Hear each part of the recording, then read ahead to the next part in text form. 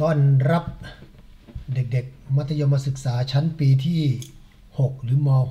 .6 แต่จะรวมถึงคนอื่นๆด้วยนะครับ เข้าสู่การเรียนการสอนโค้งสุดท้ายแนะนำคนที่กำลังเตรียมตัวสอบเพื่อเดินตามฝันตัวเอง เพราะว่า 9 ม .6 กับ 9 มหาวิทยาลัย 9 คนละอย่างกัน 9 ใหญ่กว่ากันเยอะนะครับ จบม .6 ยังถือว่าบางครั้งก็ภูมิใจนะ ฮ้ยจบม .6 แล้วเว้ยแต่เงินเดือนมันนิดเดียวไปทำงานได้ระดับที่ไม่ค่อยดีเท่าไหร่ ไม่ค่อยยั่งยืน ไม่ค่อย sustainable ดังนั้นจบมหาวิทยาลัยมันต้อง โอ้โห มันสุดยอดกว่ากันเยอะนั้นก้าวนี้เป็นก้าวใหญ่ ผู้ช่วยศาสตราจารย์ดรนเรศสุรสิทธิ์ต้องการมีส่วนหนึ่งเป็นส่วนหนึ่งในความสำเร็จของทุกท่านที่มีปัญหาในเรื่องของภาษาอังกฤษ โดยเฉพาะกับการสอบ O-NET อีกครั้งหนึ่งพูดแล้วพูดอีกข้อสอบที่ท่านกำลังทำอยู่ตอนนี้เป็นข้อสอบเก่าของสำนักงานขออนุญาตอ่านนะ ต้องอ่านแล้วก็ต้องอ้างอิงท่านหลาย ๆ รอบนะครับสำนักงานอองค์การมหาชนนะครับเป็นของสถาบันทดสอบทางการศึกษาแห่งชาติ ข้อสอบที่ทำอยู่นี้เป็นข้อสอบที่ออกให้ทำในวันเสาร์ที่ 3 มีนาคม 2561 ทั่วประเทศไทย เป็นข้อสอบ O-NET ตัวจริงนะครับ ขออนุญาตอ้างอิง ถ้าส่วนที่ผมนำมาเผยแพร่ โดยไม่ได้ประสงค์จะเป็นเงินเป็นทองนี้ ผิดกฎหมาย และก็เป็นของห่วงห้าม ท่านผู้ที่เกี่ยวข้องแจ้งผมได้เลยนะครับ คลิปนี้จะโดนลบทันที ด้วยตัวผมเองนะครับ แต่ว่าเนื้อสิ่งใดสิ่งเหล่านี้เป็นประโยชน์กับผู้เรียนเพื่อเป็นส่วนหนึ่งในการพัฒนาคุณภาพภาษาอังกฤษของลูกศิษย์ลูกหาของเด็กๆของเรา ให้เท่าทันอย่างน้อย ไม่อันดับโหล่ของอาเซียน เราไปดูทั้งวิเคราะห์ข้อสอบของเขาด้วย และทำแบบฝึกหัดด้วย วันนี้แบบฝึกหัดไม่ใช่สิ วันนี้เนื้อหาที่ออกข้อสอบเป็นของ o n e t เป็น part ที่ 2 ใช้ชื่อว่า writing ability ก็คือศักยภาพในด้านการเขียน แต่ข้อสอบจริงๆ ก็ไม่ใช่การเขียนแท้ๆนะ ไม่ใช่ writing แต่ประการใดเป็น text completion ก็ว่าในเรื่องของการเติมคำลงในช่องว่างที่หายไป ฟังดังต่อไปนี้ ท่านใดที่กำลังจะสอบอยู่ อย่าประมาทเป็นอันขาด เพราะคุณไม่ได้แข่งกับข้อสอบ แต่เพียงอย่างเดียว คุณแข่งกับคนอื่น ถ้าคนอื่นได้เยอะกว่าคุณ คุณก็ย่อมตกแม้จะได้คะแนนเยอะก็ตาม ดังนั้น อย่าประมาทเป็นอันขาด รู้เขารู้เรารบร้อยมิพาย ข้อสอบชุดนี้เป็น text completion วิธีทำข้อสอบทำอย่างไร เรามาดูกันนะครับ เป็นข้อสอบชุดที่ 3 จากโอเน็ตของสอทอสอประจำปีพุทธศักราช 2560 เท่าไหร่เมื่อกี้ 63 ใช่ไหมลืม 61 เห็นไหมลืมเร็วมากเลย 61 choose the word phrase or clause that best complete each blank blank in the passage below ข้อสอบจะออกในลักษณะเช่นนี้ ออกกี่ข้อตึมตึมตึมเลย จาก 36 ข้อที่ 36 ถึงข้อที่ 45 สั้นกระจิ๋วหลิว ออกกันเยอะแยะ ออกอะไรนักหนา วิธีทำข้อสอบ ข้อสอบจะออกลักษณะเช่นนี้ แต่เพื่อให้เกิดความง่ายนะ ผมจะขออนุญาตก๊อปทีละชุดไปวางจะได้เห็นทั้ง text และก็เห็นทั้ง choice ก๊อปยังไงคะไม่ต้องเดี๋ยวจัดการเองอย่างนี้อย่างนี้อย่างนี้เอาตัวเล็กหน่อยนะ วางตัวนี้ไว้ด้านบนอย่างนี้นะครับ ขออนุญาตนะ แต่ความจริงมันมาพร้อมกันเป็นพารากราฟเดียวกันนะ แต่ผมขออนุญาตประยุกต์หน่อย ปรับปรุงให้มันง่ายต่อการทำข้อสอบ อย่างที่หนึ่งที่ท่านต้องรู้ว่าข้อสอบ O-NET เนี่ยโดยเฉพาะกับ writing ability นี้ออกอะไร ผมบอกได้เลย ออกแค่การเรียงคำเป็นหลักชุดนี้นะ ความจริงถ้าเป็นข้อสอบของ TOEIC จะออกพวก vocab กับ tense กับกับการใช้กริยาการใช้คำนาม 4 3 2 1 หมายเลขที่ผมสอนมานี่แหละ จะใช้แค่นั้น แต่ในชุดนี้เรียงคำศัพท์ถูกก็ใช้ได้ เรียงคำศัพท์โดยปกติทำอย่างไรตำแหน่งที่หายไปหนึ่งเขาต้องการออกความหมายด้วยนะ ความหมายเป็นอันดับแรก อย่างที่สองก็คือการเรียงคำในภาษาอังกฤษ 4 3 2 1 และก็ 5 มันคืออะไรคะอาจารย์ มันคือดังต่อไปนี้ 4 3 2 1 ไปเรื่อยนะ 4 หมายถึง a and the my his her อยู่ประมาณนี้เป็นหลัก 3 หมายถึง adverb ลงท้ายได้วย ly เป็นหลัก 2 หมายถึง adjective ลงท้ายมากมาย suffix ending 1 ก็คือคำนาม ภาษาอังกฤษเวลาแปลแปลหลังไปหน้า อย่าเอาภาษาไทยไปจับคนละเรื่องกัน เอกภาษาอังกฤษ ตรีโทเอก สอนภาษาอังกฤษมากว่า 30 ปี เขียนหนังสือภาษาอังกฤษมากว่า 60 เล่ม สอนปริญญาตรีโทเอก 20 กว่าปี คุยใช่ไหมเนี่ยไม่ได้คุยเล่าสู่กันฟัง อะไรที่ทำได้เล่าสู่กันฟังไม่ได้เรียกว่าคุย แต่ที่บ้านหนูเรียกว่าคุยไม่นะ คนมักจะคิดอย่างนั้นแหละเราทำได้ ก็บอกว่าเราคุยไม่ไม่ไม่ไม่ไม่อ่าหนึ่งนะหนึ่งนะครับ แล้วหมายเลขห้าคืออะไรคะ หมายเลขห้าคือกริยา ท่านรู้จักกริยามากน้อยขนาดไหน ตัวนี้คือ verb verb นี่คืออะไร ก็คือ 12 tense active voice 12 tense อันเดียวกันนั่นแหละ คือ passive voice คนละรูปกัน ท่านแม่นขนาดไหน รวมถึง verb form ต่างๆ รวมถึง word choice การใช้ enjoy shopping have someone do something ท่านรู้พอสมควรไหมสำคัญมากอ่าไม่โฆษณานะ เดี๋ยวโฆษณาบอกว่า คอร์สออนไลน์อาจารย์นเรศมี 30 กว่าคอร์ส มันมันก็โฆษณาเนาะ ทาง w w w s k i l l e n c o m ก็ดี ทางจุฬา book course com อะจำได้แล้ว จุฬา book course com ประมาณนี้แหละไปเปิดดูเอา มันไม่ได้ฟรีนะตอนนั้นเสียตังค์ลงให้อาจารย์นเรศหน่อยนะมีหนังสือแถมฟรีทุกท่านทุกคน ข้างหลังก็เหมือนกันครับ ก็หมายเลข a and the my his her เหมือนกัน adverb ly เป็นหลักนะ adjective แล้วก็นามเหมือนกัน ถ้ามีตัวต่อไปก็จะเป็น in on at ไปเรื่อยๆเรื่อยๆผมขออนุญาตแค่นี้ สมมุติว่าสรุปให้คนที่รู้เรื่องแล้วฟังหนูรู้เรื่องว่าหนูยังไม่รู้เรื่องเลยสมมุติสรุปให้คนที่เรียนกับผมฟังแล้วกัน คนที่เรียนกับผมแล้วรู้เรื่องฟังนะอะเพราะฉะนั้น ตัวที่หนึ่งอออกอย่างนี้ ส่วนต่อไปเขาออกอะไร เขาออกเรื่อง clause ท่านรู้จัก clause มากน้อยขนาดไหน หมายเลข 3 ก็คือท่านต้องรู้จัก noun clause เพราะเขาออกข้อสอบเยอะใน ONET adjective clause แล้วก็ adverb clause นั่นเองอสามอย่างนี้ it is a must for all of us to understand if you don't understand the structures of clauses you can't solve this problem. You can't tackle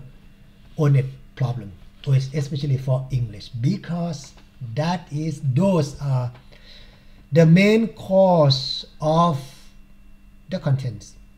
The content the main contents of onet that's why you have to understand first and try to arrange in which way now clause ก็ดี adjective clause ก็ดี adverb clause ก็ดี อยู่ในรูปบอกเล่า ไม่อยู่ในรูปคำถาม อยู่อาจจะอยู่ในรูปบอกเล่าหรือปฏิเสธถูกไหมไม่ได้อยู่ในรูปคำถาม เจอจะพูดให้ฟัง แต่รายละเอียดจะไม่เยอะมาก แนะนำท่านทั้งหลาย เวลาทำข้อสอบหนึ่งวิธีทำนะคะนี่หนึ่งวิธีทำ method process ก็ได้ อ่านกำหนดตามลำดับ ตามลำดับ ถ้าอ่านเข้าใจปุ๊บจบเลย เพราะว่าไม่ได้มีพลิกแพลงในเรื่องของแกรมมงแกรมมาอะไรเป็นหลักเลย อ่านเข้าใจจบเลย แต่ถ้าไม่เข้าใจบางคำก็ต้องมีทับศัพท์ หรือปล่อยทิ้งไว้ใช้ context clue มาช่วยบ้าง context clue ก็คือบริบทรอบข้าง เรามาลองดู if clause เคยเรียนใช่ไหมถ้า you find brushing your teeth ถ้าคุณพบว่า การแปลงฟันของคุณนั้น มันเป็นงานที่น่าเบื่อคือเหนื่อยถ้าเป็นแปลงฟันนะขออนุญาตนะจินตนาการ ผมผมว่าแกสอนในเรื่องของการจินตนาการไปด้วย อืโชว์ตัวอย่างแล้วกันที่บ้านมีไหมมี อันนี้คือแปลงฟัน อันนี้คือไหมขัดฟัน ไม่เกี่ยว อันนี้มาทีหลัง เอาพูดถึงตัวนี้ เรื่องนี้พูดถึงแปลงสีฟันอย่างนี้ โอเคนะ มันน่า เป็นเป็นโชว์โชว์น่าน่าเบื่อ tiring โชว์ you can blame it คุณก็อาจจะว่าได้ blame ว่าได้จดสับด้วยจดสับด้วย สับไหนไม่ได้ผมไม่ได้พูดถึงค้นอย่ามาคอยอย่างเดียว ค้นคว้าศึกษาสำคัญที่สุดผมยังเชื่อในทฤษฎีว่า การศึกษาค้นคว้าและรู้ด้วยตัวเองขึ้นมาเนี่ยหมายถึงว่าเราอ่านเราเราเห็นมาเนี่ยดีกว่าการสอนแบบนี้ การสอนเป็นแค่แนวทางนะครับ อย่าลืมว่าการสอนเป็นแนวทางให้เราเดินต่อได้ ไม่ใช่ว่าจบอยู่ที่การสอนของเขา ความรู้เขาจะมาสอนจะเท่าไหร่เชียวถูกไหมเราจะจำได้สักกี่น้ำอีก มันต่อเนื่องกันไป Addis an English prisoner prisoner ลงท้ายด้วย or เป็นคน er เป็นคน ดังนั้นจึงบอกว่าคุณก็คุณก็อาจจะโทษนะ โทษได้ โทษใคร โทษไอ้วิลเลียมส์แอดดิสเนี่ยโอ้เขาเขาเขาตายไปนานแล้วเขาแก่แล้วต้องโทษท่านวิลเลียม แอดดิสซึ่งเป็นนักโทษชาวอังกฤษนี่แหละ ถ้าแปลไม่ได้เราก็แปลได้บางตัวนะครับ blame ก็ควรจะแปลได้ทำไมต้องไปโทษคุณวิลเลียมส์ที่ต้องโทษคุณวิลเลียมแอดดิสเพราะเขาถูกจับ passive voice ท่านต้องรู้เห็นไหมตัว passive voice passive voice หนูต้องจำเป็นกฎอย่างไรคะอาจารย์หนูไม่มีความรู้เลยค่ะ ไม่มีความรู้หนูจำไว้ b บวกช่องที่3ข้างบนไม่เห็นเป็น b เลยอ้าวหนักแล้วฉัน b ก็คือ is am are was were บวกช่องที่ 3 แต่มันก็มียกเว้นนะ I am interested มันก็ยกเว้นนะ กลุ่มที่แสดงความรู้สึกไม่นับนะ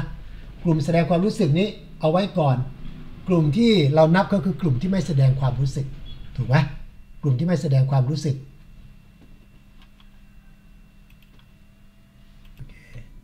โอเคนะครับ เพราะฉะนั้นเขาถูกจับสิ่งที่ต้องรู้ก็คือ passive voice โอ้การอ่านเราจะเลี่ยงว่าเฮ้ยฉันไม่อยากรู้อ่านไม่จำเป็นต้องใช้ grammar ผมเอกภาษาอังกฤษนะ ตรีโทเอก คุณไม่ใช้ grammar คุณใช้พูดภาษาอังกฤษไม่ถูกหรอก พูดตามเซนส์เหมือนหนอนกินต้นไม้กินใบไม้เท่านั้นแหละโหดร้ายว่ะ ในปี 1770 1770 ตัวนี้น่าจะมีโอ้ขออภัยมันต้องเป็นตัวเล็กเนาะเพราะว่าเป็นประโยคต่อเนื่องกัน ใช้อะไรต่อไป ถูกจับในปีนี้ ถูกจับในปีนี้ มี to อยู่ 2 ตัว แล้วก็มี for อยู่ 2 ตัวอ่า for อยู่ 3 ตัว เราจะตัดอะไรออกไป ถูกจับในข้อหาไหมอ่า ในข้อหา ในข้อหา มันก็ต้องตัดคำว่าถูออกไป ถูกจับในปี 1770 ถูกส่งไป ถูกส่งอะไรออดไรออดแปลว่าความรุนแรงเขาประท้วงกันไง แล้วก็เขาก่อความวุ่นวายเนี่ยคำว่าไรออดเพราะฉะนั้น to จึงไม่ถูกต้อง to ต้องใช้กับกริยา 2 ตัวซ้อนกัน ตัวนี้ไม่มีอย่างนั้น เราก็ตัด to ออกไป เหลือ 3 อัน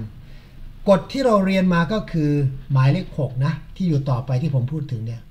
ถ้าเป็นคำมันจะเป็นคำนามก็คือเป็นหมายเลขหนึ่งแต่ถ้าไม่ใช่คำนามมันจะกลายเป็นกริยา ซึ่งต้องเป็นกริยาช่องที่4 ทั้ง 3 ตัวถูกไหม เขาถูกจับในปี 1770สำหรับ ถ้าแปลตามตัวสำหรับส่งและเริ่มอะไร at at ไม่เห็นเข้ากันเลย the notorious สำหรับการเริ่มความรุนแรงอ่า for starting a riot เพราะเขาเป็นคนก่อความวุ่นวายใช่ไหมจับในข้อหาก่อ การทะเลาะวิวาทก่อความรุนแรง และถูกส่งเข้าไปที่ prison Newgate notorious อันนี้คือหมายเลขหนึ่งดูตามข้างล่างนี้ หมายเลขสองหมายอะคราวนี้หมายเลขสองอันนี้ก็เป็นหมายเลขสองเหมือนกัน จริงๆแล้วตัวสองอันนี้เป็นหมายเลขหนึ่งเหมือนกันนะนิวเกตเป็นนามนามเฉพาะก็ถือว่าเป็นหมายเลขหนึ่งนามซ้อนนาม เพราะนั้นก็เป็นหมายเลขสี่ไม่หมายเลขสามแปลหลังมาหน้าคุกนิวเกต ที่โด่งดัง notorious แปลว่ามีชื่อเสียงโด่งดัง แต่ในทางไม่ดีนะมีอาจารย์ท่านหนึ่งท่านเคยบอกว่าอาจารย์นาเรศ is notorious บอกผมสะดุ้งเลยนะ ผมสะดุ้งเลยนะโอ้ notorious มันตัวร้ายนี่หว่า ดังอยู่แต่มันดังไม่ดีอะไอ้รู้ไหมไอ้ไอ้ที่อะไรที่อยู่ในไอ้แบทแมนอะไรเห็นไหมไอ้ตัวดังไม่ดีอะ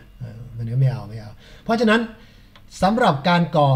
และตัวหลังนี่ผิดนะ และก็ starting a riot อันนี้ไม่ไม่ตรงความหมาย sending a riot to ไม่ใช่ ไม่ได้ส่งความรุนแรงเข้าคุกไม่ใช่ เขาต้องตอบข้อนี้ starting a riot ก่อความวุ่นวาย และถูกส่งเห็นไหมเป็น passive voice เข้าไปคุกนี้ก่อความวุ่นวายแล้วก็เลยถูกเขาจับได้ แล้วก็ถูกส่งไปในคุกเวลาแปลเราก็แปลอย่างนี้ข้อต่อไปเดี๋ยวขอเอาพักพวกเขาขึ้นมาก่อนนะ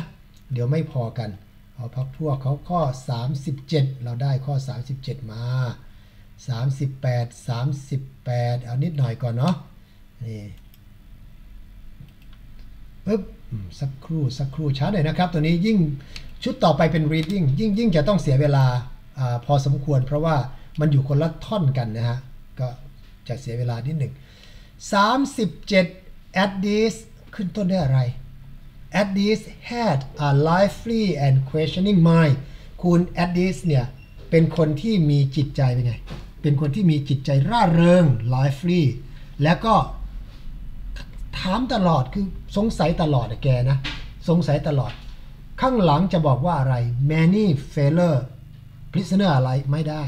ถ้าอะไรต้องเป็น A and B are alike หรือ many failure prisoners are alike เห็นไหม มาเกี่ยวกับอะไรเกี่ยวกับ word choice เกี่ยวกับ grammar ถ้าท่านไม่รู้ grammar ท่านก็ตายตัดออกไป พอรู้ก็ตัดออกไป as his many failure prisoner ไม่มีไม่ได้ as ฟังเอาเองนะ ฟังเองเขียนไม่ได้นะ เด็กมาคอยแล้ว จะต้องขึ้นสอนแล้ว as although even though กลุ่มที่เป็น adverb clause marker ท่านจะต้องเป็นประโยค คือหมายความว่าต้องมีกริยา ตัดทิ้งไป ข้อนี้ก็ไม่ได้ unlikely ได้นะ ไม่เหมือนกันไม่เหมือนกับ many fellow prisoner also also ใช้กับใคร ขาดกริยาไปเพราะเนื้อหาจบอยู่แค่นี้ ตัวนี้ก็ขาดกริยาไป โครงสร้างล้วนๆเลย many of his fellow prisoners too เพื่อนในคุกของเขาจำนวนมาก ด้วยเหมือนกันด้วยกับใครยังไม่ได้กล่าวถึงเลย เอาไม่เหมือนใครสักคนกันที่ผิดหมดเลย บางคนนี่เก่งมากเลย อาจารย์บอก ทำนั่นทำนี่ตัดไปตัดมา ไม่เหลือสักข้อ อันนั้นคือเวอร์นะฮะเวอร์นะฮะ unlike ไม่เหมือน many of his fellow prisoners ไม่เหมือนกับเพื่อนร่วมชะตากรรมคือในคุกของเขาคนอื่นๆนะครับ ไม่เหมือนกันกับคนอื่นๆ at this จริงๆแล้วมันต้องมีคอมมาตรงนี้นะ had a lively คุณ at this เนี่ยมีชีวิตมีจิตใจที่ไม่ไม่เศร้า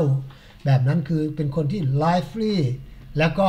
questioning ชอบอยากรู้อยากเห็น ถ้าเป็นความหมายคืออยากรู้จะเห็น เพราะฉะนั้นไม่เหมือนกับคนอื่นๆ ที่อยู่ในคุกของเขา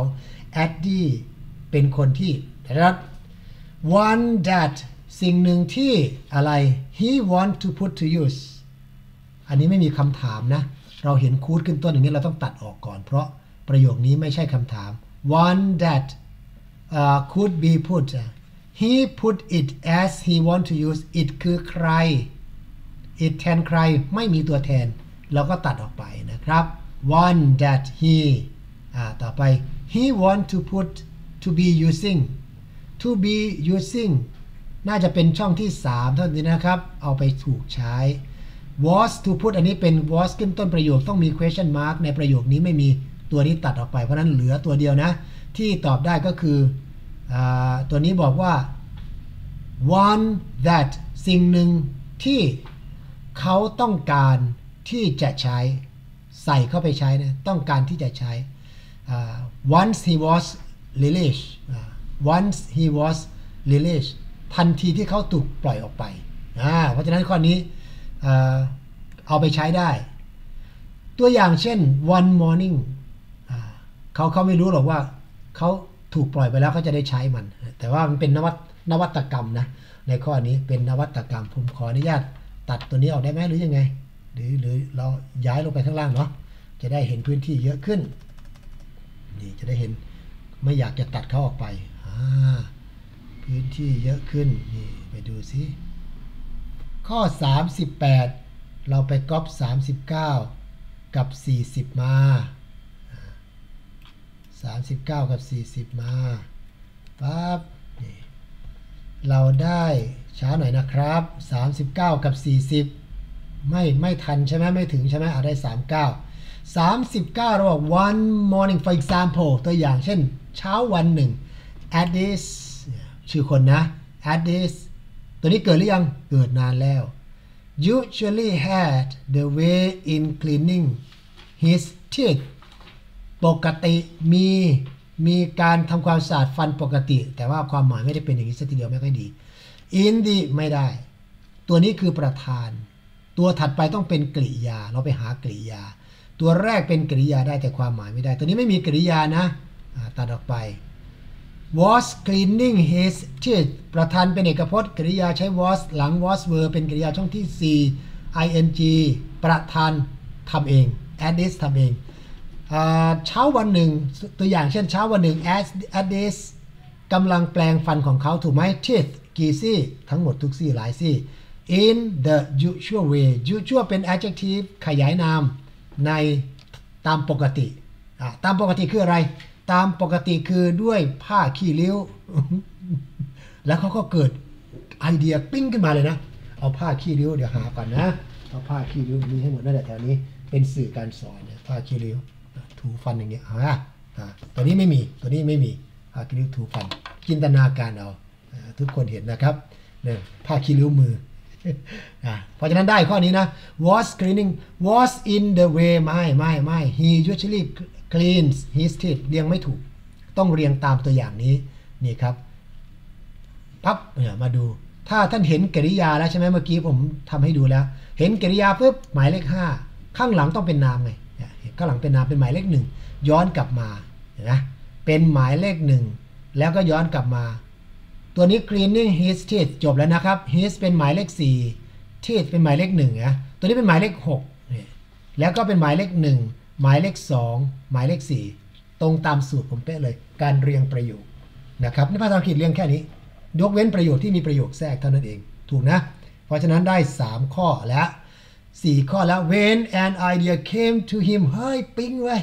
wouldn't it be easier อันนี้มันคิดว่า เฮ้ย มันจะง่ายขึ้นกว่าเดิมไหมวะ และ more effective แล้วก็สะอาดกว่าเดิมไหม อย่าลืมว่าเอาตัวนี้ขัดเนี่ย ฟันเลี่ยมแต่ว่าข้างในร่องหนึ่งไม่ไม่สะอาดถูกไหม more effective มีคำว่า dem ตามหลัง เราไปดูข้อที่ 41 more effective บวกด้วยนามข้อไหนจะ wiping wiping teeth instead of brushing effective to ไหม to เราสมมติเป็น to นะ อ่า more effective to to อะไร to brush teeth instead of wiping เฮ้ยได้นี่หว่าเงินมันจะสะอาดกว่ามาในการแปลงคราวนี้ใช้คำว่าแปลงนะ ไม่ใช่คำว่าถูนะคราวนี้แปลงแทนการถูคือ wiping กวาดออกอะแทนการถูอ่าได้ตัวนี้ได้ to brush teeth in the same way same way ไม่ต้องไปจินตนาการไม่ต้องไปคิดอะไรมากนะครับ wiping wiping ไม่ได้ เพราะมันต้องการ to กริยา 2 ตัวซ้อนกันขึ้นมานั่นเอง ข้อนี้ต้องแปลหน่อย แปลนิดหนึ่งนะครับ ข้อต่อไปข้อ 41 คราวนี้ มาดูที่ 41 he picked a small bone อ๋อผมไม่มีโบนให้นะ กระดูกขอกระดูกหน่อยได้ไหมเขาเขาเอากระดูกมาคราวนี้กระดูกกระดูกสัตว์นี่แหละ กระดูกสัตว์นี่แหละ อะไรอยู่ก่อนหน้ากระดูกสัตว์กระดูกสัตว์ lastly ในที่สุด เขาก็เอากระดูกสัตว์เล็กๆมา กระดูกเล็กๆมา 1 ชิ้นได้ไหม the next day ในวันถัดไปเขาก็เอากระดูกเล็กๆมาต่อต่อไปก็ว่ากันนะครับนะครับ he had for dinner ที่เขากินเป็นอาหารหมายถึงว่ากระดูกนั้นมันอยู่ในส่วนหนึ่งของอาหารเย็นนะครับ และทุกเป็นกริยาช่องที่ 2 คู่กับตัว pick ตัวนี้เป็นช่องที่ 2 ใช้ประธานตัวเดียวกันก็คือ he เขา เอากระดูกมาจุดๆอาหารที่เขากินนะครับ แล้วก็นำมันไปสู่อะไรสักอย่างหนึ่งก็จบประโยคตรงนี้คำถามเยอะแยะ จนตัดข้อความหมด someday ไม่เกี่ยวเนาะ the day before ก่อนหน้านี้ก่อนหน้านี้ไม่ได้ เพราะเรื่องเกิดในอนาคตในตอนนั้นนะครับ for the time being ในเวลานั้นในเวลานั้นไม่ได้ เพราะต้องเป็นวันต่อไปจึงเป็นข้อความนี้ว่า the next day ในวันถัดไป เพราะเรื่องนี้คิดในวันนี้แต่เกิดในวันพรุ่งนี้ ดูเรื่องได้เลย เกิดในวันพรุ่งนี้นะครับ ข้อนี้จึงได้ จากอะไร small bone จากไหน from the meat จากเนื้อของชิ้น แปลว่าอะไรวะ จากเนื้อของชิ้นกระดูกจากเนื้อของชิ้น เป็นเป็นเป็นชิ้นจากเนื้ออไม่รู้อะ with meat in a piece พร้อมกับเนื้อในชิ้นชิ้นหมายถึงชิ้นกระดูก จาก กระดูกของเนื้ออ่านี่ได้ไหมเขาต้มไตต้มไปเนี่ย มันก็เปื่อยเปื่อยออกใช่ไหมเนื้อก็หลุดออกไปตัวนี้ต้องเป็นเขานำมาจาก small bone from a piece of meat ที่เขากินเป็นอาหารเย็น dinner เห็นไหมตอนนี้มันเย็นแล้วคุณจะไปทำคุณจะไปคำว่าอ่า for the time being ไม่ได้ เพราะมันต้องเกิดในวันถัดไป เพราะฉะนั้นข้อนี้จึงได้ยากเลยนะ แต่ว่าต้องใช้ถ้าอ่านรู้เรื่องก็จบได้เลย ก็อ่านรู้เรื่องนะครับ ตัวต่อไปคือจบแล้วนะ 42 42 เป็น 43 and took it แล้วก็นำมันไปที่ไหน back to his cell ก็นำกลับไปที่ห้องเขานั่นแหละ ห้องก็คือห้องคุกนะนะ ในคุก เซลก็คือคุกนะ ไม่ใช่เซลล์ผิวหนังเรานะ คนละอันกัน back to his cell จบนะคราวนี้นำกลับไปที่คุกของเขาที่ห้องของเขา อากาศ ยามรปภโอ้ไม่ใช่เจ้าหน้าที่อะไรเลยเจ้าหน้าที่เป็นไงครับ เจ้าหน้าที่เป็นประธานเพราะอะ4บวก1ประธานคือตัวนี้ after ไม่ได้แล้ว คนละประโยคกันแล้วมันจบอยู่แค่นี้ เพราะฉะนั้นตัวตัดถัดไปต้องเป็นกริยา กริยาที่ใช้กับประธานท่านผู้ชมดูนะ ประธานจะบวกกริยาได้คือบวกช่องที่ 1 เป็น present sim บวกช่องที่ 2 เป็น past sim บวก b is am are was were บวกช่องที่ 3 บวกช่องที่ 4 จะเป็นบวกช่องที่ 4 จะเป็น continuous ทั้งหลาย ถ้าเป็น has have เนี่ย จะบวกด้วยเป็น perfect ประมาณนี้ เราก็รู้บวกช่องที่ 4 ทันทีมีไหมไม่มี ประธานบวกช่องที่ 4 ไม่มีในภาษาอังกฤษ ยกเว้นลดรูป ตอนนี้ลดไม่ได้เพราะมีประโยคเดียวสั้น ๆ ช่องที่ 4 ตัดทิ้งไปเหลือที่เหลือเหลือหมดเลยได้หมดไหม supply some brittles with him brittles นั่นขนสัตว์แข็งๆเห็นไหมขนขนควาย สีดำๆแข็งเป๊กเลย ขนควายมันจินตนาการได้ คล้ายๆ กับตัวนี้เป็นขนแล้วนะอันนี้ก็จะเป็นขนใครเนี่ย supplying ไม่ได้ตัดออกไป supply some brittle with him กับเขาปัญหาคือตัวนี้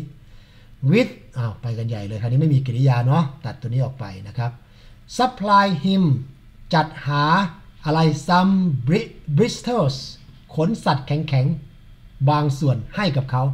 วางกำรองไว้หน้ากำตรงไม่ต้องมีอะไรกั้นกลางตัวนี้ได้นะ was app supplying him for some bristol จะใช้ was ได้คำเชื่อมต้องเป็นพวกไหน y กับ s ไม่ได้เหตุการณ์เกิดและจบไปในอดีต ใช้ตัวนี้ตัวเดียวพอนะครับได้นะ ข้อที่ 44 after boring holes ตอนนี้ boring เนี่ย bear ก็คืออาจจะไปเจาะอย่างนี้นะ หลังจากเจาะรูเนี่ยท่านท่านลองจินตนาการดูเขาจะใช้ เหล็กแหลมๆอะไรสักอย่างหนึ่งเจาะรูอย่างเงี้ยเจาะรู add this ก็ไทยไทยตัวนี้แปลว่าเอาขนนั่นแหละมามามัดใส่เอาเอาก็ก็มัดขนก่อนมัดขนขนสัตว์นะเป็นเป็นมัดยอมยอมเล็กๆครับ เป็น terps เล็กๆเนี่ยแล้วก็ wedge them ยัดมันเข้าไป พยายามยัดมันเข้าไปในรูที่เจาะไว้เนี่ยเจาะอย่างเงี้ย แต่ตัวนี้เขาพัฒนาการมาหลายปีแล้วไงเขาก็เลยไม่มีรูเขาก็พัฒนาการมา สุดท้ายท่านคิดว่าอะไรเกิดขึ้น That is why he made the first toothbrush นั่นคืออเหตุผลที่นั่นคือสิ่งที่หรือเหตุผลที่เขาสร้างแปลงสีฟันแปลงแรกขึ้นมาถูกไหมไม่เพราะ นั่นคือ นั่นคือแปลงสีฟันชิ้นแรก นั่นคือวิธีที่แปลงสีฟันชิ้นแรกถูกสร้างขึ้นมา นั่นคือเหตุผลที่ นั่นคืออวิธีที่แปลงสีฟันชิ้นแรกเป็นแพสซีฟถูกสร้างขึ้นมาตรงที่สุดดีที่สุดนั่นเอง นี่คือที่มาของแปลงสีฟันรุ่นโบราณเกิดจากคุก และก็แปลงด้วยขนสัตว์ วิวัฒนาการแค่นี้ก็ไม่ใช่เรื่อง ไม่ใช่เรื่องไม่ใช่เรื่องง่ายนะ เป็นเรื่องยากเกิดจากจินตนาการวิวัฒนาการและกล้าทำถ้าปัจจุบันนี้เราเรียกชุดนี้ว่าสตาร์ทอัพ ดีๆ นี่เองนะครับ นี่คือตัวอย่างบางส่วนเท่านั้นที่ยืมข้อสอบมาจากข้อสอบจริงของสอทอสอท่านนะครับ หวังว่าจะเกิดประโยชน์กับผู้เรียนทุกท่านที่ได้เข้ามาดูวิธีการทำข้อสอบในครั้งนี้ครับ ขอให้โชคดีแล้วก็สอบผ่าน เข้าคณะสาขาที่รักที่ชอบได้ทุกท่านทุกคน